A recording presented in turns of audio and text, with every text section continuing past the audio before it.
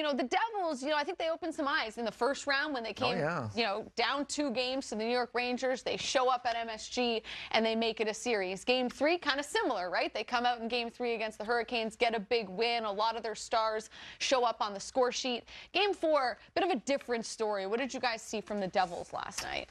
Um, I saw a team that came out good. They looked, they looked Got the early lead. Yeah, they got the early lead. Um, I, I guess to summarize it, it, I I saw a team that's been through the grind before and kn- knows how to manage emotions and kind of not try to do too much. And then Marty Nature's first period, at the end of the first period, that goal was Huge huge. goal, huge Huge goal. goal. Second period starts, different ball game. Yeah. And then it started snowballing for the Devils. And, um, you know, eh, eh, there, there's a play in particular. And, um, you know, I- I'll just do this. Uh, keep an eye on Jack Hughes. Uh, eh, there's going to be a play here. Just, he's down. If we could bring it back to the top, even, he, he ends up just. I, th- that doing a drive-by there, he- he's running all over the place, and I'm, I'm going to give him some love after this because I don't want to. I don't like that I'm picking on him here. It's a 3-1 game, and he's chasing the puck up, goes out in the neutral zone, and the guy that he's kind of covering there in Chatfield is one that ends up getting that next shot, and then Jesper Fast ends up getting it.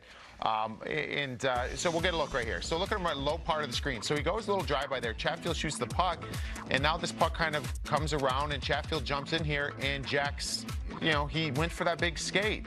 So now he's coming in here and he's just circling everywhere. And if he just picked a spot to stop, if he stopped in front, he would have been there with Fast. If he would have stopped up top, Chatfield wouldn't have gotten the second shot. And my point I want to make in this is as much as uh, we saw a, a Carolina team that understood that just be patient. It's about the process. I feel like this Devils team, and he's just the poster boy, unfortunately, in this video, that it was the 3-1 game and you tried to right the ship in one shift. Yeah. and there's a half a game left and it just wasn't the right time. I will say this though. I want to make sure i say this.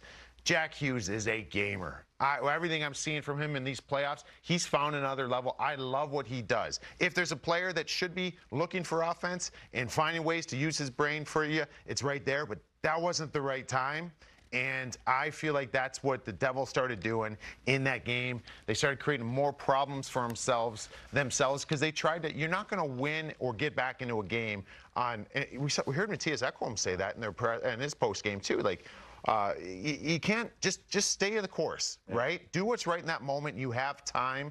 Uh, the Devils' inexperience, I think, got the best of them last night. You know what's so funny when I watch that video? I think back to I think it was Game Four at Madison Square Garden. Early in the game, Jack Hughes got a breakaway. It was very similar circumstances. Now the scoreless at the time, so different scenario, right? And but the but the puck was laying in the crease. Siegenthaler just batted it out. I think I did a tape on it that Jack Hughes. The Devils are always going. They're Yeah. always going. And so he took off. And in that particular case, Siegenthaler just lofted it up in the air. Jack Hughes was gone. Breakaway, he scores. Everybody's happy, right? In this case, that it's it's one of those plays, and that to your point, like you, those are the risks that are hard to take I'm okay in the it, playoffs. and I'm okay at a certain time of the game. Yeah. If you're down 3-1 with five minutes left in the game, that's fine. There's half a game here, Yeah. and you're an explosive team that is coming off a really good game. You had a good first period. Yeah, It's just not the right time, and i- it doesn't stop there with him. I just used that clip. Yeah. Uh, this, I think that their inexperience was evident. What did Lindy say game. after the game? He was really disappointed. He was like the disappointed parent, like really disappointed about, you know, because and he was because he knows that what they're capable They're of. and he's been- capable of. Yeah. And he's been so impressed with what they've done for him this year. But he said some guys went rogue. you know, Yeah. which was, I mean, that's a statement by a coach. Like, you know, some guys went rogue and just, they didn't do what they normally do. Learning experience for a team that is going to be together for a while Yeah. moving forward and is going to have a great chance to be one of the top teams in this league for a while. So, got to learn from it.